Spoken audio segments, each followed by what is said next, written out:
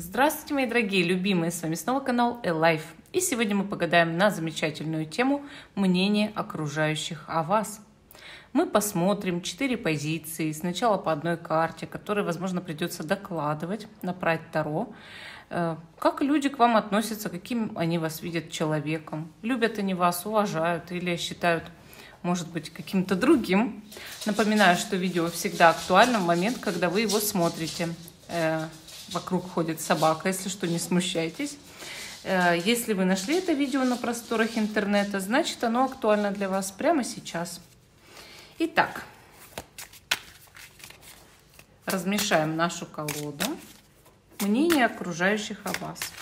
И пока я выкладываю карты, я вас приглашаю также на индивидуальные расклады, консультации и ритуалы. Пишите мне в Viber, WhatsApp, ВКонтакте, в Instagram, в Telegram. Я вам отвечу, сообщу все свои условия, цены. Тут одна карта. И мы с вами обязательно поработаем. Итак, перед вами четыре позиции на выбор. Вы можете смотреть несколько, можете смотреть одну, несколько вы можете смотреть, загадывая там других людей. Ну, то есть мнение окружающих, допустим, о вашем мужчине, да, э, это не возбраняется. Итак, первая позиция вот такая бабочка. Э, вторая позиция вот такая бабочка. Третья позиция вот такая бабочка. И четвертая позиция вот такая бабочка. Первая, вторая, третья, четвертая. Те, кто еще не выбрал, ставьте на паузу, выбирайте, а потом переходите на свой тайм-код. А мы начинаем. Итак, я убираю сначала в сторону наши последние три позиции. Надеюсь, что я их не перепутаю, как сегодня на школе Таро. Наша первая бабочка. Мнение окружающих о вас. В каком аркане они вас видят, каким человеком. Мы видим здесь девятку мечей, ну, вы знаете, девятка мечей, карта-то такая, да. Какой бы колоде она ни была, она показывает грустную девушку здесь, рыженькую. Вы знаете, ну, не обязательно, что вы рыженькая девушка, конечно. А, вы можете и мужчиной быть, но грустным.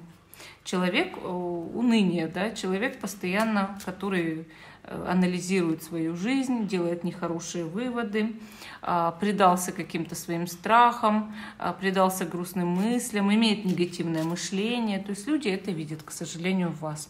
Я не говорю о том, что вы на самом деле такой человек, но в последнее время, я не говорю, что всегда, в последнее время вас видят несколько унылым человеком может быть депрессивным, может быть нагнетающим обстановку, может быть слишком культивирующим в себе страхи какие-то свои, да, может быть недостатки, может быть культивирующим свое горе, которое э, настигло вас в какой-то момент, а может расставание, там что-то с работой не так, вы перегружены в жизни. Может быть, вам снятся какие-то неприятные сны, вы испытываете страхи, паники или еще что-то. В общем, от окружающих это совершенно скрыть вам не удалось, да? Давайте разворачивать. Все равно мнение окружающих не может быть в одной карте. Мы здесь видим двойку кубков.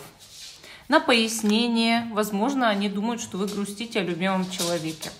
Или о каких-то друзьях, подругах, в общем, близких людях, да. Может быть, о семье, может быть, но чаще всего именно о любви. Двойка кубков показывает некий союз, а девятка мечей ну, печаль об этом союзе. Может быть, они думают, что вы влюблены, но без ответа, а может быть, с кем-то расстались. В общем-то, окружающие беспокоятся о вас и считают вас хорошим человеком, что вы приятный человек для общения, мирный, дружелюбный, но страдаете из-за чего-то, да, страдаете, ваша душа страдает. Причем, скорее всего, они считают, что это пустое страдание. Видите, шут, они в вас видят мирного, но при этом наивного человека. Умеренность подтверждает вашу споко... ну, спокойную мирность, да, такую, а, даже ангелоподобность, я бы сказала. Окружающие а, по этим картам очень хорошего мнения о вас. Рыцарь кубков это тем более подтверждает, что вы романтичная натура что вы такой вот добрый, приятный а, человек, ребенок. Ну вот извините, но это так. Они видят в вас э, все-таки больше именно наивности и вот что вы ангелочек такой, да, которого или обидеть-то было легко, в принципе. Если вы женщина, очень все понятно. Если мужчина, ну, значит, они считают вас, э, что вы не прошли в своей жизни много опыта. Вы могли хлебнуть горя, но не совсем усвоили урок. Вот они видят это, что а, вы как бы переживаете попусту, значит, еще не все усвоили. Да? Делают именно такой вывод о вас. Вообще карты очень светлые. Все. Все из этих карт очень светлые. Они не показывают плохого, там, дерьмового человека, злого и так далее. Люди видят вас именно добрым э, человеком, который может многое им прощать. Вот. А, как бы идет такой момент, ну, некоторой, может быть, лояльности с вашей стороны. Но они видят в вас это проблемой для вас самого или самой что вы слишком много можете прощать, слишком многим мириться в человеческих качествах, а этого бы делать не стоило. Что вы услужливы, что вы уступчивы, что вы можете для человека сделать что-то приятное, даже если он вас обидел. Что если вам, вас обидеть, а вы потом, потом извиниться перед вами, вы обязательно простите. Да? Этим они вас и любят, и уважают, и в то же время немножечко считают, что вы неправильно себя ведете. Что можно было бы Э, дать всем леща и совсем там иначе реагировать. И не страдать, а наоборот еще пойти и поддать да, кому-нибудь, чтобы вас не обижали и не расстраивали из-за ерунды. Вот и все. Ну, в принципе, значит, любят. Значит, хорошего мнения о вас. Ну, вот такая первая позиция. Вообще, если человека не любят, о нем такого мнения не будут. Честно вам скажу. Вторая позиция мнение людей, окружающих о вас. И первая карта – четверка пентаклей. Ну, что вы сами по себе, что вы ограничены своим каким-то мерком, и просто так душу-то на распашку не покажете. С вами трудновато дружить, честно. Вы не особо идете на контакт. А вы человек э, очень ревностно оберегающий свое личное пространство и деньги – и, соответственно, у вас э, не, ну, трудно допроситься как того, так и другого. Вы ревнивец, человек ревнивец или ревнивица. Если кто-то уже стал явно вашим, вы уже этого никогда человека от себя не отпустите. Именно поэтому Именно поэтому к вам очень сложно подобраться. Окружающие это видят, ваши ограничения от них. И если вы кого-то допустили уже там, в свое личное пространство, что вы дружите, что вы любите, это практически навсегда они тоже это знают. Многие хотели бы прорваться сквозь оборону, но не так-то это просто. Не так-то просто. Вы можете улыбаться, с кем-нибудь смеяться, вы можете все это делать, но это ничего отнюдь не значит, и они уже это поняли. С вами трудно общаться, трудно дружить, вы не хотите, вы стена, вы стена, э, причем сидите на своих-то денежках, они считают, и могли бы поделиться, и э, может быть у вас какой-то даже суровый знак зодиака, ядреный какой-то. Не буду их перечислять, каждый про свой знак знает сам. Но здесь я вижу совершенно точно, что они вас считают человеком, который сидит на куче с деньгами. А, с ними он не делится. А зачем тебе столько денег, спрашивают они, если ты с нами поделиться не хочешь. Также и энергия. Они видят вас очень энергичным человеком, но для них вы буквально спящий под деревом и сидящий на стуле, скрестив руки на груди. То есть вы не хотите с ними дружить. Вы не хотите их допускать к себе ближе. Если вы сейчас имели в виду вашу семью окружающих, да, это самые близкие, они знают, что вы в, эту близость никого не пропустите, кроме них самих. То есть мы близкие, а остальные все идите по боку. И ваша вот эта вот ревностность, ограниченность и нежелание разбрасываться своим личным пространством всем известно. Вы сухой скупердяй в этом плане. Вы можете дружить, общаться, любить, у вас все это есть, но для большинства людей вы остаетесь таинственным и абсолютно темной лошадкой, еще и с магическими способностями, с колдовским даром и нежеланием и им делиться тоже. Ни деньгами, ни даром, ни чем бы то ни было еще я с вами не поделюсь, своей энергией тем более. Я буду делать ровно то, что мне положено, я никому ничего из вас не дам, не отдам, не расскажу, не покажу, не буду с вами общаться. Бе-бе-бе. вас видят именно замкнутым человеком в свой определенный круг, ну, может быть, в свою семью. С вами все хотят сблизиться, абсолютно все люди. Но они не знают как. Способ они не имеют. Здесь совершенно точно показан очень сложный человек, но интересный и загадочный. А, добрый, скорее всего, а, веселый, ответственный и умеющий, может быть, даже деньги зарабатывать. А почему нет? Но вот для всех вы как, не знаю, темная лошадка. Ни за что эти люди так и не докопаются до правды всей вашей жизни. Они останутся в неведении до самого конца, понимаете? И они, ну, кто-то готов смириться, кто-то нет. Вот так могу сказать. Кто нет, может быть, доборется да, до того, чтобы стать вашим близким. Но это чаще всего очень сложно. Вот такая позиция номер два. А мы перейдем к третьей позиции. Мнение окружающих о вас. Наша бабочка, храпящий мопс у меня под стулом прям. Он знает, куда и когда приходить, простите. Он точно знает, когда я пишу видео и ложится. И в некоторых случаях начинает громко храпеть, понимаете? Итак, э, что вас окружающие думают? Четверка жезлов. Ну, вы прекрасный человек. Возможно, вы состоите в отношениях или в браке, или просто очень стабильны. Но вы прекрасны. Э, карта это совершенно точно здесь показывает, что вы ну, невероятно интересны, неординарны, веселы по жизни, позитивные, коммуникабельные.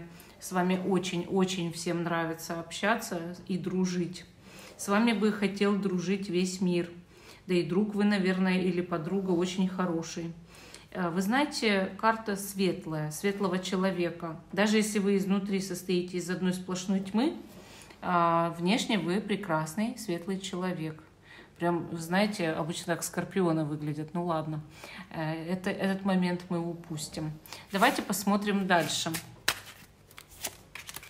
А мы здесь видим рыцаря жезлов, мы здесь видим влюбленных, мы здесь видим рыцаря пентаклей и еще и десятку мечей. Смотрите, э, окружающие люди, они о вас прекрасного мнения и продолжают быть по этим картам, но, но есть такой момент, э, что они видят вас иногда очень целеустремленного, подвижного человека, которому, в принципе, в жизни многое интересно, он интересуется, там, не знаю, там, разными науками, искусством. Есть о чем поговорить с вами, понимаете? Вот вы разносторонний, приятный человек. Влюбленные всегда говорят о союзах. Вы союзник. Вы человек, который может объединяться в любые там, товарищества, группы, группы по интересам. С вами очень можно легко задружить, как они считают. И что вы можете поддержать компанию. И также они думают, что с вами просто э, даже переписываться интересно, болтать много, что вы готовы к этому. Ну, пусть не всегда, но готовы. Но вы допустим, романтичная натура, но и немножко и приземленная. То есть вот вы не глупый человек, они это тоже осознают, что вы не будете вестись на всякую ерунду. Если вас решат развести там на деньги, на какие-нибудь там, не знаю, э, там рулетки, там ставки на спорт или там по телефону мошенники, вряд ли вы поведетесь, вряд ли. Хотя человек вы с виду простой, компанейский, интересный, разносторонний, но ни за что не поведетесь на ерунду. Опыт в жизни у вас есть, и люди э, часто с вами советуются. Однако рыцарь Пентаклей с десяткой мечей показывают совершенно точно, что на работе вас не ценят. Ну, не ценят и все тут. Вас э, могут считать прекрасным человеком для общения, но э, для работы что-то не так вот как будто бы не оценивают до того, чтобы повысить, допустим, по карьерной лестнице. Не оценивают до того, чтобы сделать вас более богатым. Такой человек, как вы, ну, со стороны окружающих, да, внешний взгляд, может хорошо заводить семейный бизнес, дружеский бизнес, бизнес, где друзья, партнеры, и с ним легко. Но на работе, ну, не ценят и все тут, не повышают и все тут, не повышают доход, зарплату. Это, конечно, вот момент упущения – что дружить с таким можно, а работать с таким уже не так. А вот бизнес тоже можно, да? Ну вот, вот странно это, странно. Что-то здесь вот они в вас, вот как изъян какой-то, может быть, видят или недооценивают как нормального профессионала. А почему? Ну, потому что вы как-то слишком добры, скорее всего. Вот ведь и не ведетесь вы, допустим, на мошенничество, да? Значит, вы не глупые, и они это знают. Но они э, считают, что на вас можно ездить. Ну, пользоваться, пользоваться по, по, по поводу работы. Вот так вот. Ну, такая позиция номер три. А мы под дружный храп мопса с, моим, э, с моей речью, да, вот они в унисон льются в камеру. А, продолжим четвертую позицию теперь. Э, какое мнение окружающих о вас? И карта императрицы. Если вы женщина, сразу говорит о том, что они вас видят цельной такой личностью, а, которая самодостаточна и очень уверена в себе, и, скорее всего, семейная женщина, допустим, с детьми. Ну, либо начальница, да, начальница, а может все вместе. Для мужчины карта императрицы показывает ну, некоторую завышенную мягкость. То есть вы для многих э, очень заботливый, приятный мужчина, который может отогреть, приголубить и сделать для многих людей очень много добра, да и старается, чтобы всем людям было хорошо, всех выслушать, всем помочь, всех отогреть, там, приголубить, э, все сделать для окружающих. Женщина такая же тоже, очень добрая, но э, для мужчины это многовато материнских качеств, да, для женщины, ну, женщина-мать, и все, тут этим все сказано.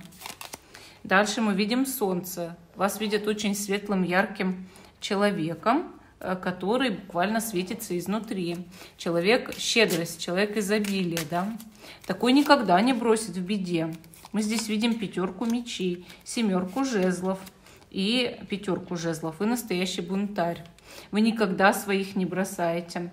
Вы обо всех позаботитесь. Но если вас задеть, вот э, лучше бы этот сосудик не трогали. Да, сосуд с жидкостью. Теперь вся жидкость пролилась.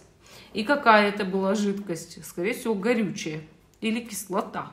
Потому что вы взрываетесь мгновенно, кипятитесь как чайник, и вас не узнать. Да? Они видят в вас взрывную натуру. В мирное время, когда с вами а, есть коннект, когда с вами можно общаться нормально, дружить, и вы ни с кем э, не вступили в спор, вы прекрасный, идеальный, совершенный человек, с которым можно всегда найти общий язык и у которого можно что-то попросить. Вы всегда поможете, никогда не предаете. Вы супер, да, супер.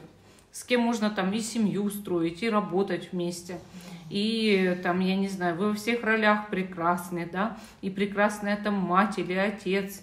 Но не дай Бог вас разозлить вы сметаете все на своем пути, вы взрываетесь так, что любого может это э, задеть и поранить. Поэтому обратите на это внимание, люди видят вас чайником.